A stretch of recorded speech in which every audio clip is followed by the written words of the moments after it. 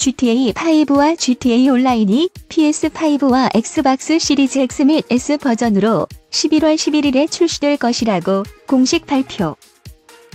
GTA5와 GTA 온라인 두 게임 모두 확장 및 향상될 것.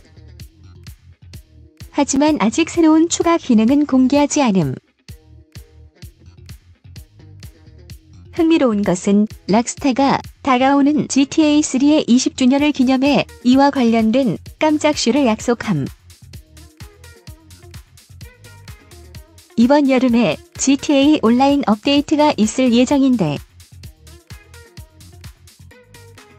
확장 및 향상된 버전이 출시될 때 활용할 수 있는 특별한 혜택을 포함할 것. 출시 후 3개월 동안 PS5 소유자에게 완전히 무료로 제공. 엑스박스 버전에 대한 가격은 공개되지 않았음? 플레이스테이션 플러스 구독자는 업데이트 버전이 출시될 때까지 매달 100만 달러의 게임 내 통화를 청구할 수 있음.